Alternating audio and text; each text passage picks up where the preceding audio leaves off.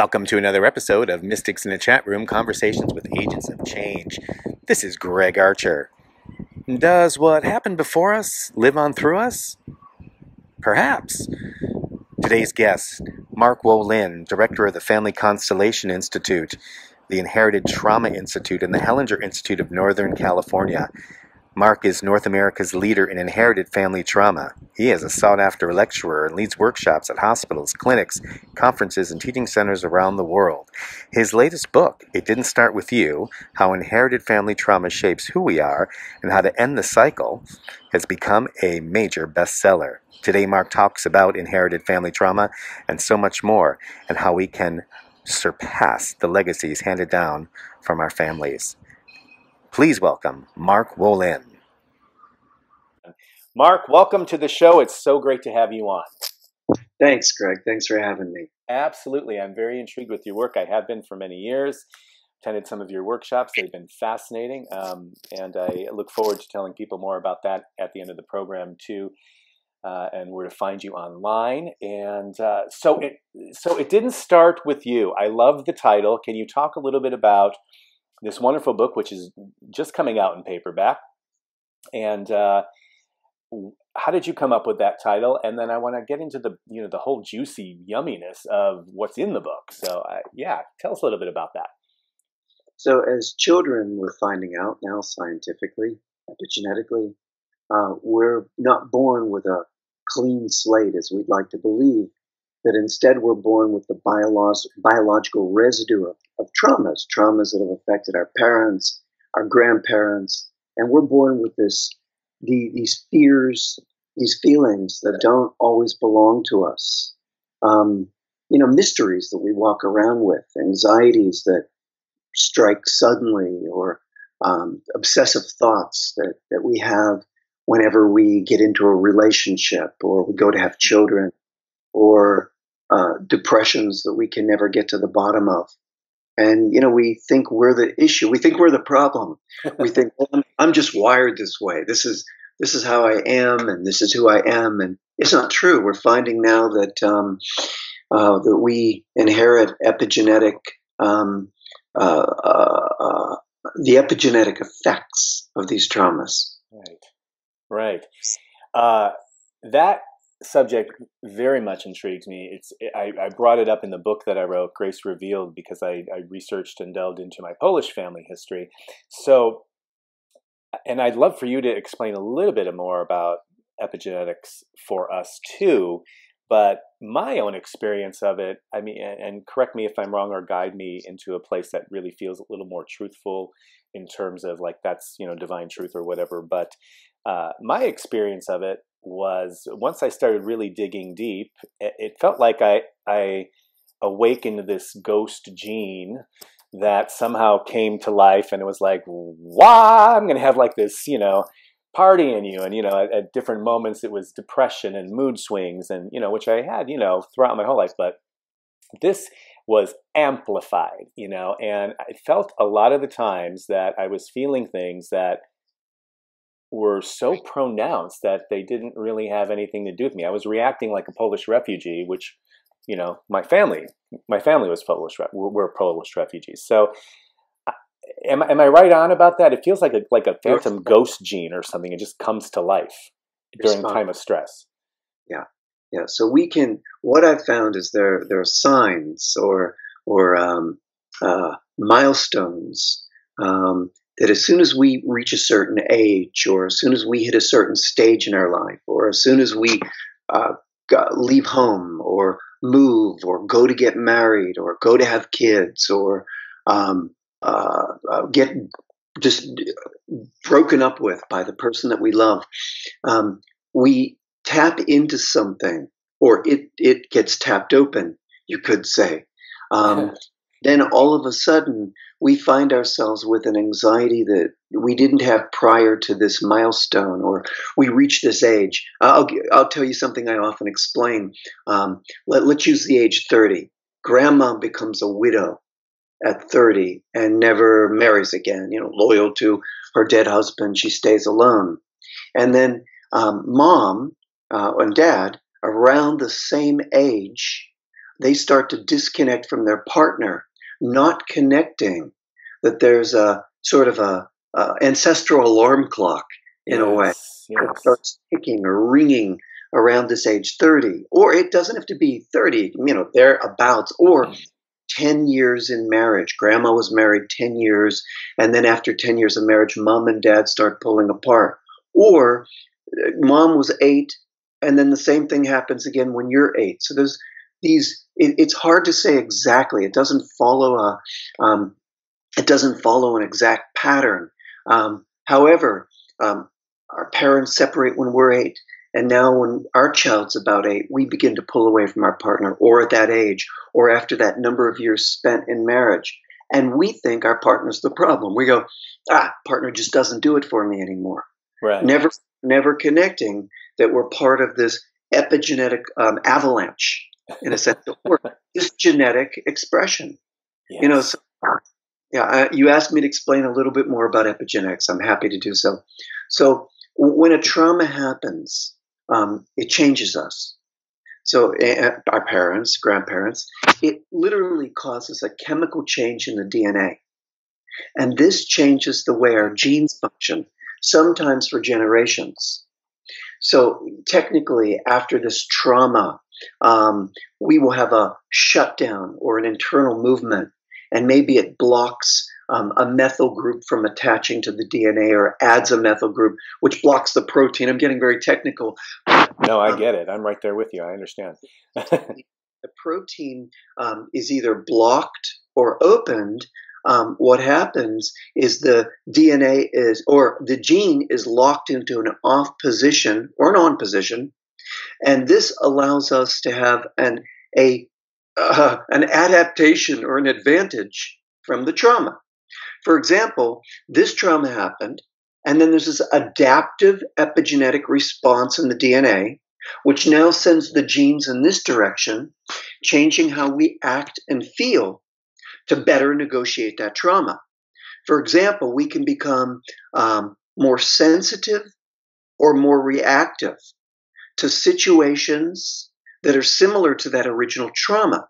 Now, going back to what I talked about earlier, um, maybe age 30 is attached to that trauma, or leaving home is attached to that trauma, or being alone, breaking up with a partner is attached to that trauma, or having children is are being attached. So clearly, as a Polish refugee, any idea of moving the home or uh, uh, uh, any any uh, uh, uh, security that starts to feel threatened on any level would tap in this sort of oh my god things don't feel great Right. i'll give you an example right from poland if our parents are from a war torn country with people being round up and sent away or the stalin purges of the 30s or the Holocaust and, and its effects, where or, or a war torn country, bombs, bullets, the, our grandparents would develop epigenetically sharper reflexes and quicker reaction times to deal with this trauma. Well, that's a skill set. Now they've, they've now adapted, developed, and they've passed forward this skill set to us born in middle America without bombs going off. And here we are preparing for a catastrophe that never arrives Right. and we've inherited a um, not just the skill set to deal with war, but we've now inherited a stress response with the dials set to 10, waiting for this catastrophe that never arrives. And it can be harmful to our psyches, harmful to our bodies. And, and that's what many of us are walking around dealing with. Wow, you know, when you talk about that, I feel like you just described the last three years of my life. because really, I thought I'd write this fabulous book and really honor my family, which I, felt I did, and it did well, and it's still doing well, and all that. Um, but and there's been a lot of luscious and juicy stuff that hap- that's been happening in the last three years, but it, it it sort of happened right around the time you know this big media uh, conglomerate bought out this publication that I was at, and so I suddenly went on this wandering journey. And intermittently throughout that whole thing, these feelings of, well, where's home? What is home? What is home all about? Am I going to find home? Am I going to feel settled? I was yeah, and that's why it felt uh, as if I was reacting and responding like as if my grandmother and my grandfather were back in the 1940s. It was fascinating to me, and haunting, and mysterious, and mystical, and strange. I, it, it, I find it all curious. It's almost has uh, almost as if it has a life of its own, right? Be- beautifully put. And here you are consciously making the link, which is the issue for 99% of us. We go through it thinking we're the issue, we're the problem. But during that time, because I was in conversation with you, you were connecting um, all of this to what had happened, um, the people sent to the and all, all the stuff that happened in your family history. Um, so you had the awareness to guide yourself, even with the, the mysteries of the, the pain, the depression, or whatever was connected to it, the mood swings. But you were lucky. You knew what was happening. Many of us don't make this link, which is why I wrote the book. I wrote I wrote the book. It didn't start with you, so people could um, explain these mysteries they struggle with and understand that we're not all well. Hence the title. It doesn't. It didn't start with you. Yes. Yes that it doesn't start with us, that we tap into an event, and that event is similar to an earlier trauma in our family history, even our own birth trauma. And all of a sudden, for instance, um, you know, we might have a break in the bond with our mom, let's say, and and go along, and then as soon as we get broken up with a partner, then all of a sudden we relive the earlier trauma of the break with our mother. It doesn't have to be just generational it can be um, in this generation as well. However, um, it's so intriguing when we find ourselves reliving mother or father's trauma, grandmother or grandfather's trauma, great grandmother's trauma. You know, I often tell people, let's talk about your your grandmother or your great grandmother that died in childbirth. What do you think happens to the women who go to get married and consider pregnancy unconsciously in that system. Well, they're they're thinking, no, nah, I don't want to get too serious. I don't want anything that that leads to marriage. You know, I don't feel very maternal. And um, so there's a couple different elements. One is if I get married and have a child, I could die. But also in that family, uh, the bonds of mothers and children were broken from that mother who died young. Hmm. In that same system, that same family, the guy could feel nope, don't want to get too serious, don't want to have a relationship, because his sexuality could cause someone's death. Wow. Wow. Okay, so that's deep. That's that's real deep. Wow.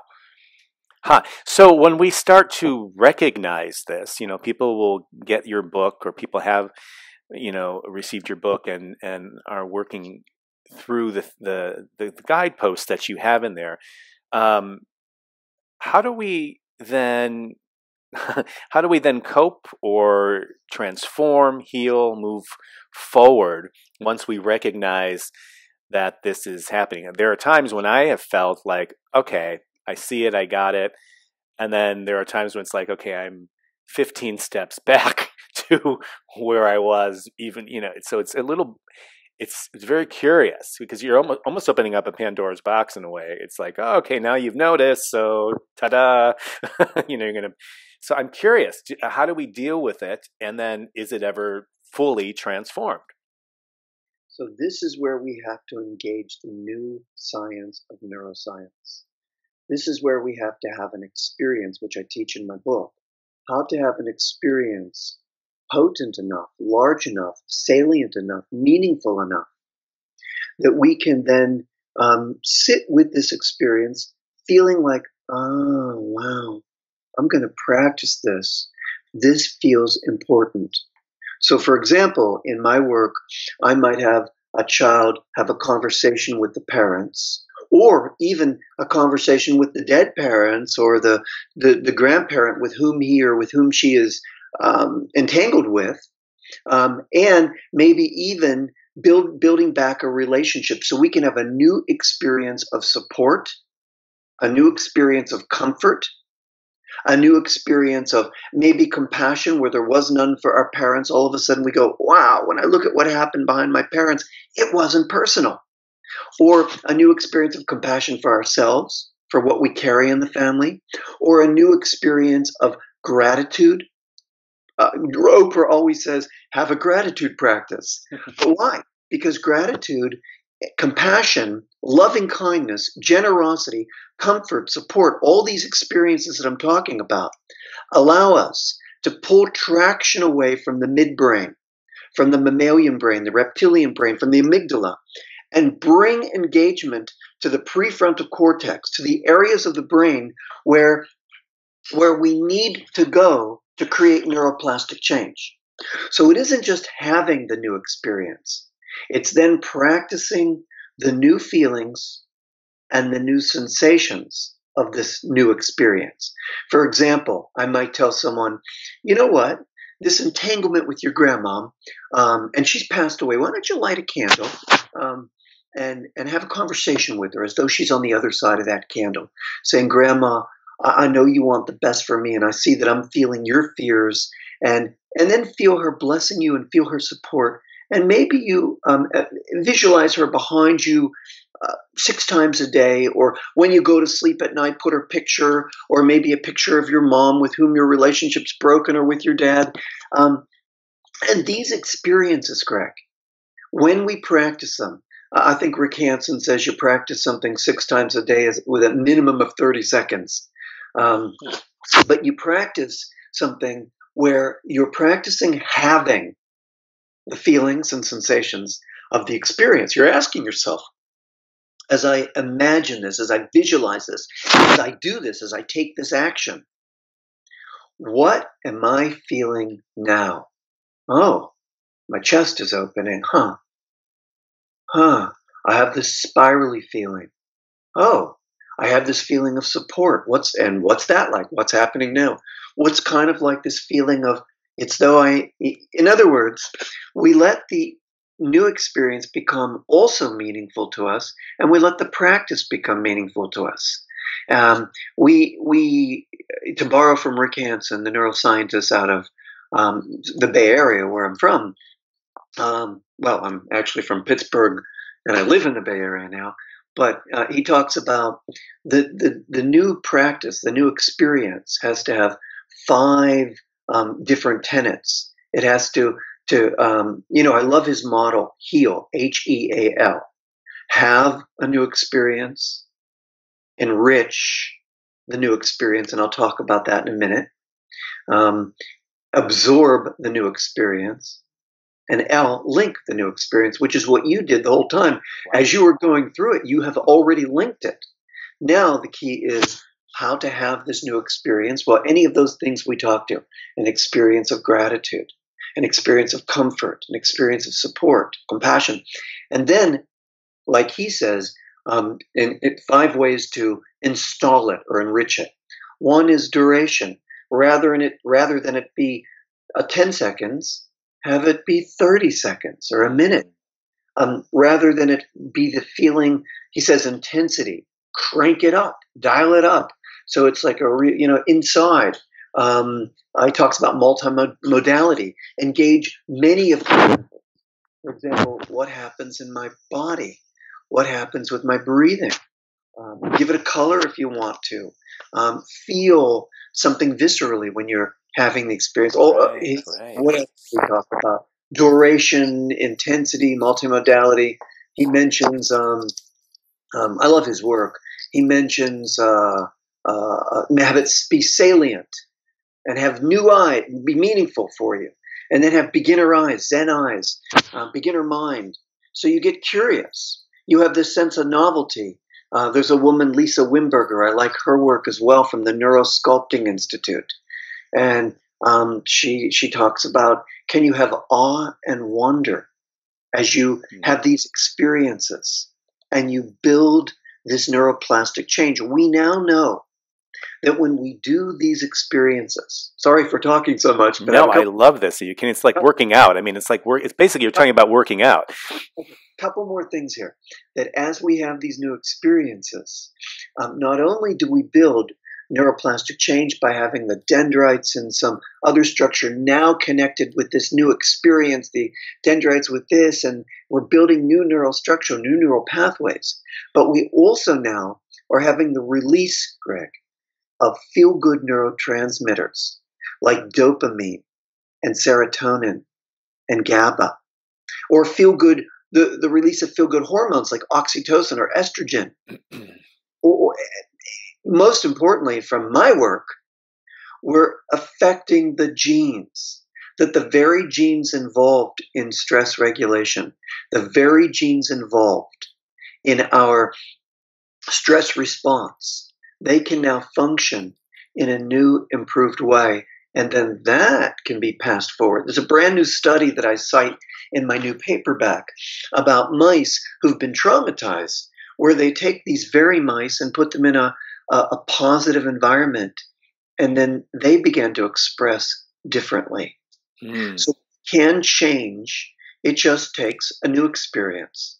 Yes, yes. Yeah, you're working basically you it sounds like you're working new muscles up here and through exactly. here, right? It's like going to the gym, a different type of gym, like the internal gym. Uh, uh, wow, I love so. Uh, I love that yeah, the whole last third of my book is devoted to these exercises, these sentences, these healing sentences, these healing visualizations, these um, these actual real things you do in real life that have an effect. For example, like uh, broken from their core, how to bring hand, breath, and awareness to integrate that fragmented young part of themselves or that part that carries grandma's trauma that's held in the body. I teach people how to integrate those fragmented pieces and become more embodied. Hmm. Yeah, in fact, I love this. Uh, this part that you meant, it's on your website too. When you're triggered, locate where you feel uncomfortable in your body. Bring your breath there. Now, why is the breath important? I know why it's important, but if you can share with others why the breath is so vital. Yeah, it, it, when when uh, we're when we're not breathing, we're not sensating, we're not feeling into our body, we're not in our body. Breath breath brings us alive. You know, in so many tra- traditions, the word for breath is also the word for life. Um, mm. There's a five thousand year old yogic principle of whenever you bring breath to the sensation and so what I like to do is I tell people, you know, bring your hand to where you feel that stress response in your body. Bring hand here, bring breath here, and bring awareness here. So where you're actually saying, uh, maybe to that young part of yourself or that fragmented part you carry, um, I've got you. I'm here. I'll hold you with our hand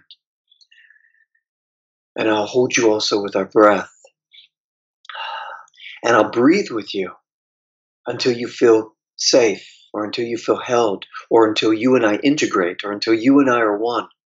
I teach this in my book on page 153, but uh, uh, one of the reasons I do this is when people can even just use that as a practice, integrating the fragmented parts of self that split off during trauma, that can be enough to really shift our life. Wow, that's brilliant. Change our brains. You know, we've got to change our brain, change your brain, change your life, right? But we've got to change our brains with an experience and then the practice of that experience. Right. S- simply put. Right. Um, can you can you share a little bit about your journey and how you evolved into this type of work? Because I, I actually I love your story and I I think others would appreciate hearing it too. Sure my my story is also my way in, my doorway. As always, as often, you know, when people come to me with it was also a trauma, and when people come to me with trauma, I get interested because I know trauma is the doorway in. I also know within trauma, within the contraction of trauma, is the expansion waiting to happen. So I often, like one of the posts I put on Facebook or something, you know, the, um, I don't, I don't remember it, but the the very trauma we were born to heal is also the seed of our expansion. Mm. So um, my way in, my doorway was a trauma. I lost my eyesight in one of my eyes, and there was no cure.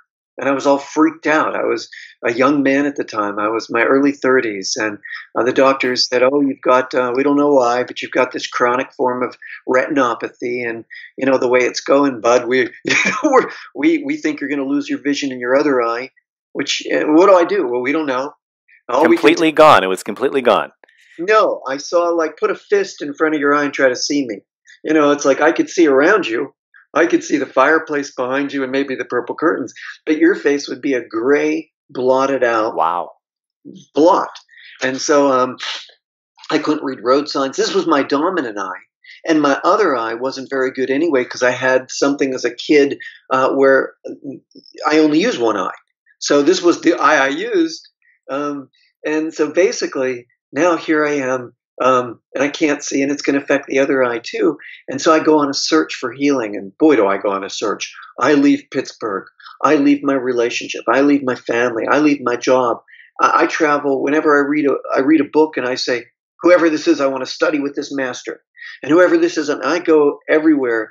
My search led me as far as Indonesia, where I'm studying with wow. these masters I'm sitting at the feet of gurus. I'm chanting. I'm meditating for days on end. I'm fasting for days on end. Um, one time I meditated for three days and nights on a cushion. I swear it was. It's a cushion this big for 72 hours. I'm on this cushion, and um, you couldn't. Uh, you you couldn't, and you're blindfolded. You're earplugged you're only given a small bowl of rice in the morning and some water. And, and for 72 hours, you stay up. You're not allowed to fall asleep on this cushion. And you um, just come to know the madness of the mind, which in my case was worst case scenario thinking that if I could just worry hard enough, I'll somehow immunize myself from all this fear and worry. But of course, we know that doesn't work.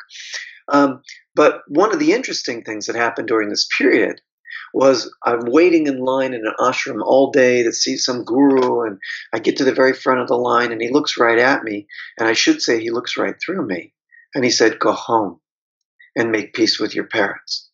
Wow! And I said, "What?" And I thought he had to be wrong because I thought, you know, I was steps away from enlightenment, total enlightenment, of course. uh, but right. So I, so I go to another master, and he said the same thing. It was hysterical. Go home and call your parents. Well, I listened. I went home and I made peace with my parents, but it wasn't very easy because what stood in the way, and I didn't know this at the time, was the inherited trauma, the inherited family trauma that I had inherited from my parents, from my grandparents. All, all my grandparents were orphaned in some way. Hmm. Three of them lost their mothers when they were babies or toddlers. Wow. And lost her dad when she was one, so ultimately she loses her mother too because her mother's grieving. And this feeling of being broken from a mother's love, this is what passed forward in my fam in my family. And the anxiety, the terror that rippled in my body that actually damaged my eye. Was, this was the real source of my vision loss. So after healing my relationship with my parents and and and understanding about this inherited family trauma, I ultimately my vision came back and ultimately i started teaching these principles to people and then ultimately i developed a method for healing the effects of inherited family trauma i never meant to do this but it just was a byproduct of the glory of trauma meaning the doorway meaning the expansion that waits in our own misery Wow, that's brilliant. So yeah, it really opened up a door for and really and your your eyesight healed by itself. I didn't. You know, it's funny, Greg. I didn't. I didn't need it to at this point. Huh? You know, people would say, "How are you doing?" It's I'm great. And they said, "Well, how's your eye?" I go, "Oh, uh, oh yeah, it's still doing what it's doing." But the me beneath my eye was great. And then I think that's really the key. If we can make peace with our conditions and our symptoms and our depressions and make peace with it as the opening, as the doorway, um, what happened for me as I made peace with my eye, well, my vision came back, but I didn't. It was I didn't expect it to. I didn't even need it to. That's it, fascinating. But there it came back, and so I thought, "Ooh, this stuff, this stuff really works." And then I developed um, this method for um, healing our relationship with our parents, even when our relationship is t- terrible. In fact, I teach in the book how to receive something from our parents even when very little was given. Now that's interesting. Yes. Yes, and it really it seems like it, a lot of it does really all stem or boil down to gratitude. You know, being grateful. Yeah, yeah. gratitude, or which is a feeling that engages the prefrontal cortex. Um, because you know, it, where we that where we feel this gratitude, now we're integrating, and that's how new neural pathways can can develop. Gratitude, again, comfort, support, because many of us feel un- not comforted, not supported by our parents because of the traumas they experienced. So, you know, what I tell people, you mean behind your parents' cruelty or your parents' criticism or your dad's drinking or the abuse or whatever it is you, you experience, a trauma happened that blocked the flow of his or her love. And of course, they say, oh, yeah, I guess so. Because that it's not personal anymore. Yes. It's just drama that blocked the flow of love. Yes, yes. I love also what you say instead of acting out, act in. Yeah. yeah. Which goes back to uh, you know, the breath and, and getting in touch and, and, and understanding and feeling what you're feeling and what part of your body. But I love that. Instead of acting out, act in. Um, Mark, what would you say are some misconceptions or or uh, that are out there about this type of, um, especially epigenetics. What what about those critics out there that would say, "Oh, really? I mean, are, are you are we really going to pin it on the generation before us or two generations before us?" Because there are skeptics out there who who say, pretty much, "Give me a break. It's not real." But um, but the science is proving it is real. Yeah, then the science is, you know, this work is sits on a foundation of academic research from major institutions. Major institutions. We're we're talking Mount Sinai Medical in New York. We're talking Emory Medical in Atlanta. We're talking the the University of Zurich, the Brain Institute. They're all doing these. McGill in in um, Canada. We're talking all these incredible studies um, that are coming out both with humans and with mice that are showing a three generation link.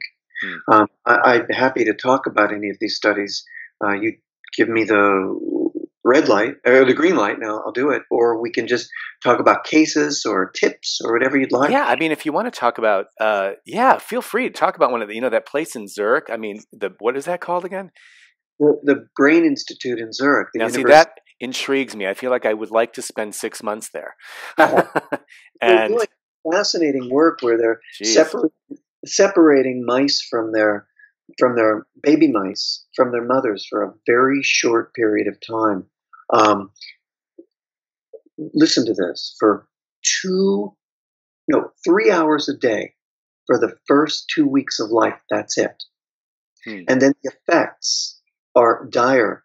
In other words, these mice went on to develop symptoms um, that we would call depression in humans. And the symptoms seemed to worsen as the mice aged. And the craziest part is some of the males didn't express the symptoms themselves, but appeared to epigenetically transmit the symptoms to their female offspring.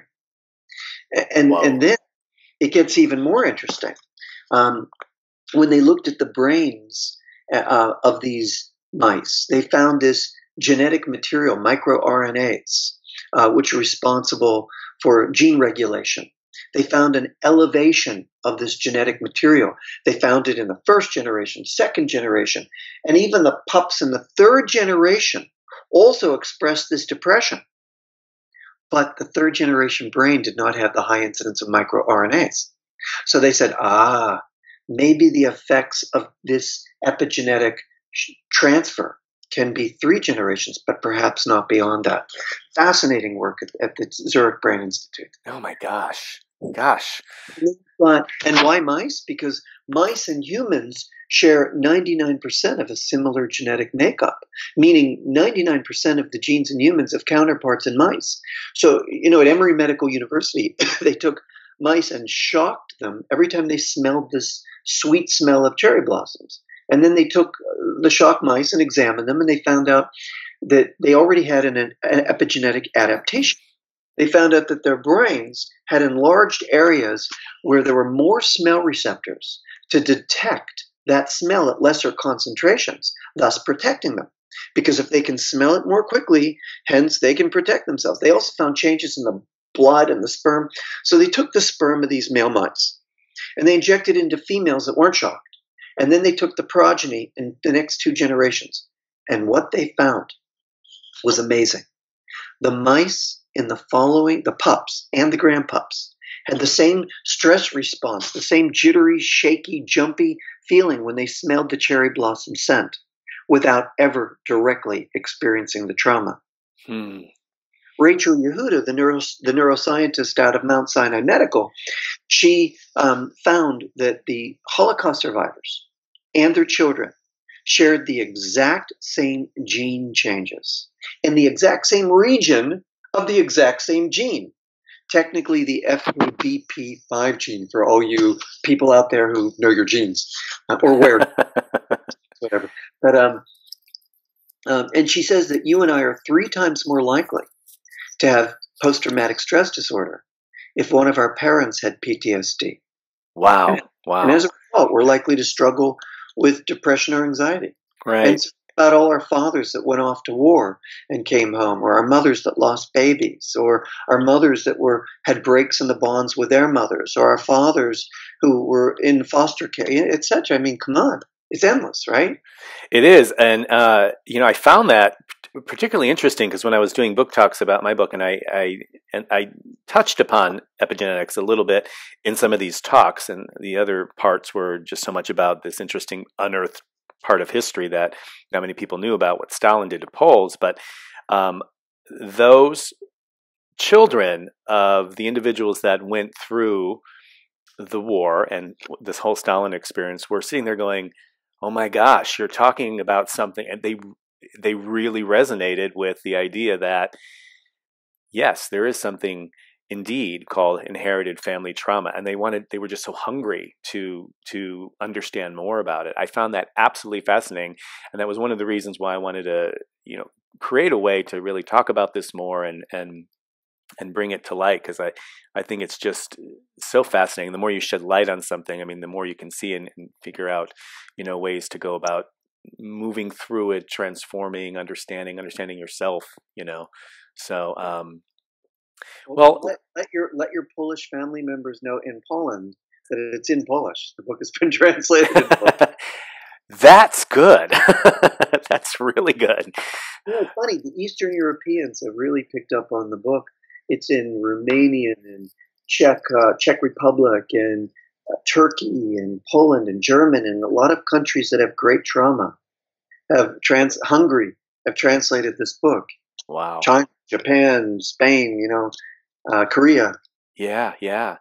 So uh, I have a few more questions for you. I, I, always like to kind of finish up on um, kind of a fun note here, but I, I love your excitement about this, but I'm curious to find out what excites you most about the work that you do in the world today. Well, I, I see change. That's that's what's exciting. I mean, I you know, I'm I'm an unwanted to be therapist. You know, I never expected, and and really, I, I, I see myself as an educator.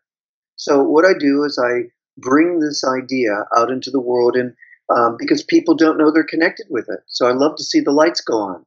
Um, somebody says, "Oh yeah, um, uh, I, I, I oh, gosh, I could tell you so many cases." But a lot of people have this thing: I'll do something terrible, and I'll deserve to die. Mm, whoa! And you know, and they live with this feeling. And when you look in the family history, um, you know that the you know you know that's not their sentence and you look back and you see what grandpa did and um, sort of escaped justice because he was a war criminal or he took a life. I worked with this one woman whose grandmother was an alcoholic and was driving uh, grandpa, and she crashed in a drunken stupor into a pole, and grandpa died, but grandma lived and she would have felt she deserved to die. But here was this feeling um, two generations later in a cutter who felt every time that she cut herself, um, she felt that she deserved to die. And it hmm. wasn't feeling. So, me, I love to see the lights go on. I love to see people unhook, disengage. It's sort of like a Rilke poem that I love very much about. Yes, I love this poem. Feel free to to, to read it because you read it. Yes, please. This is uh, amazing. Uh, this is, everyone, this is an amazing poem. Uh oh, let me find it. Let me find it. Um, and of course, Rilke. You can't not you cannot go wrong with Rilke. That's true. Oh, oh goodness! All right, it's on. Let me let me find it. Uh, um, it's it's really it's refreshing to, and this is why I love connecting with with individuals whom I, you know. And the show is called Mystics in a Chat Room because I think, in some level, we are all mystics, and the conversations that we can have with one another create such an opportunity for everyone to gather new information, to grow, to find out something about themselves, and, and share something with others, and and uh, that's what I love doing this and being committed to sharing uh, these conversations with agents of change, which I've been so lucky to meet so many amazing people. I feel really uh, fortunate that that's uh, unraveled in the way that it has in my trajectory. Um, but yes, your your Wilk, your the, the poem, the poem. The poem. Well, I was just going to say thank you for having me. I always love talking to Greg, and it's such a good conversation to bring this stuff out into the world together um, because I, our books are aligned in that way. Um, but let, let me read my favorite poem. Absolutely. Um, I, have, I, have, it here on the screen. Um, it's a Rilke poem. And I've seen other translation, but none is as good as this translation by my friend Kim Rosen, who wrote the book Saved by the po- Saved by a Poem. Um, this is her translation of Departure of the Prodigal Son. Now, to walk away from all this entanglement that is ours and yet does not belong to us. That, like the water in an old well, reflect, re- reflects us trembling and distorts the image that hooks us again and again like thorns. To walk away from this and that we long ago stopped seeing, so commonplace were they and so familiar, then to look back once and see at last tender, forgiving, as if for the first time so fresh. How impersonal is the suffering that comes to all of us, that fills childhood to the brim. And then to walk away, rending hand from hand as if to reopen a wound, and walk away where?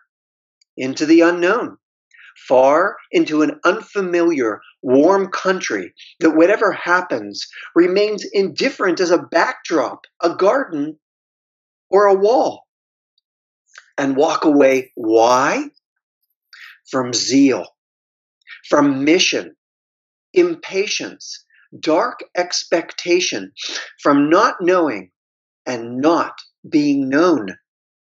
To take on all this to let go all hope, to let fall whatever you may still be holding on to, perhaps to die alone, not knowing why.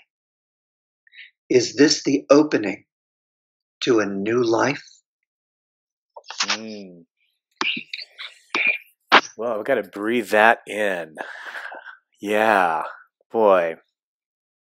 Now that's some powerful. That's some powerful. Um, those are some is- powerful words. Yeah, that's beautiful. Beautiful. Thank you for sharing that.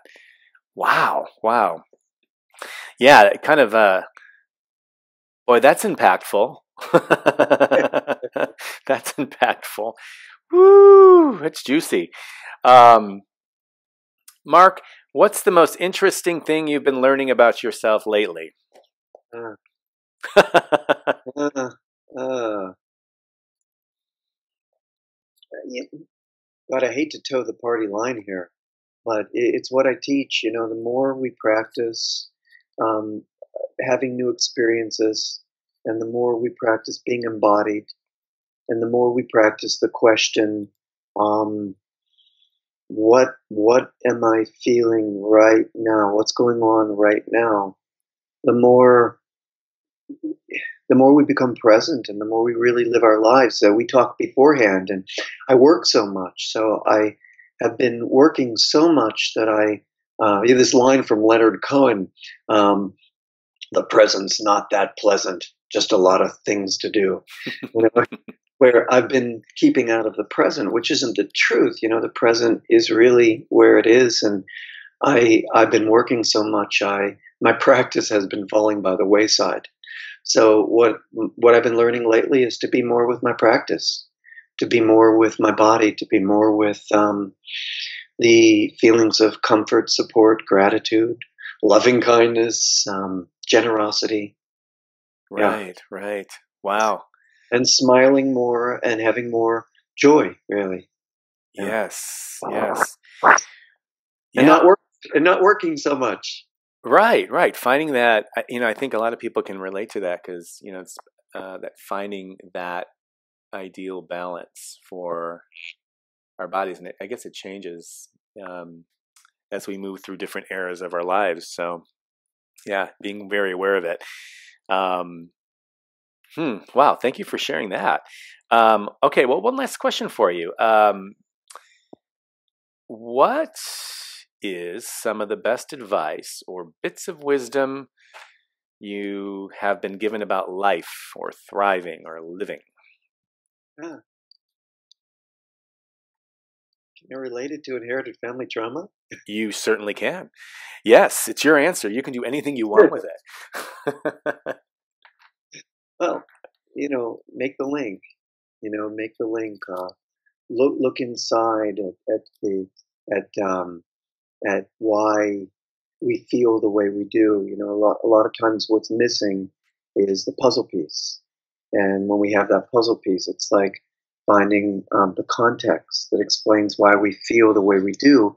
So look inside and make the link and do your inner work. Talk about these traumas so they're not passed forward. Um, tell your children if you have children um, because they don't know what they're connected to.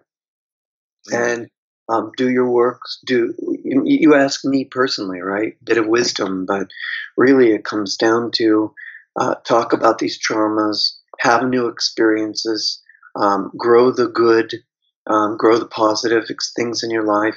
You know, like Thich Nhat Hanh says, water the weeds or the flowers. Whichever you water will grow. So water, water the flowers in your life. Yes, whatever you water grows. Whatever you water grows. Boy, that is the truth. Mark, thank you so much. MarkWolynn.com. It didn't start with you. Look on the bottom of your screen there, folks. You'll see where you can get all of this fabulous information and learn more about Mark. Mark, thank you so much for being a guest on the show today. It's great to see the work that you're doing in the world, and I think a lot of people are definitely benefiting from it. So thank you. Greg, thank you for having me. All right. Uh, be well, and uh, onward we go, and more next time. See you. Thank you.